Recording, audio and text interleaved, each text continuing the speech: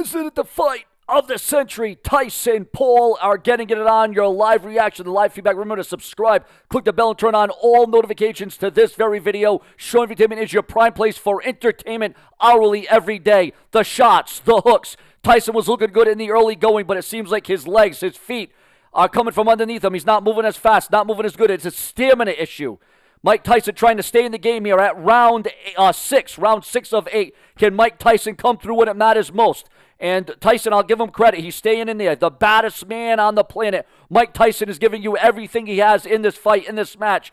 But this is a crucial time, a massive development against Paul, who is the younger, more agile. But of course, the experience is with Mike Tyson. But is he running out of fuel? Is the fuel coming out of Mike Tyson? Mike Tyson was always regarded as a man that liked to finish you quickly and fast. He said he was going to, you know, win it and end it in round one. Obviously, that didn't happen.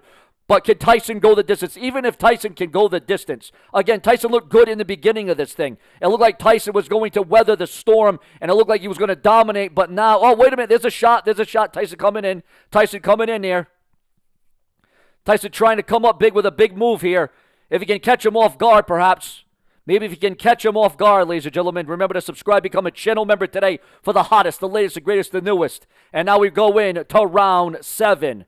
Ladies and gentlemen, this has been, I, am I'm, I'm shocked it's went this far. People said that Tyson would have won already by this point. Some said that Tyson would have got knocked out by this point. I mean, there's a lot of different varying opinions as to what would have happened and what would have went down during this very big fight. But this is the fight that everybody's looking forward to. This is what everybody wants to see, and we have been waiting for it. The momentum, uh, the vibe, the aura, the significance, the dynamics that go into this. All the puzzle pieces have arranged to have Tyson and Paul in this match tonight. And the entrances, the arena, the place, the setting, it is off the damn chain, guys. We are witnessing history unfold right before our very eyes. Win, lose, or draw, both these men are going to come out winners with the bag of money. The money bag, their purse, their wallet, so to speak, is going to be a lot fatter. And Mike Tyson's case, can Mike Tyson do it? Can Mike Tyson come through, ladies and gentlemen? Mike Tyson is fighting with his heart and his soul, and he's putting all in that ring tonight, but will it be enough to overcome the younger Paul? Paul Logan out. Let's see what's, what's let's see what he can do here. Now we are in round seven of eight. Round seven of eight. We're getting we're getting down to the uh, nitty gritty here, guys. We're getting down to the last one here. There can only be one. There can only be one winner and one loser.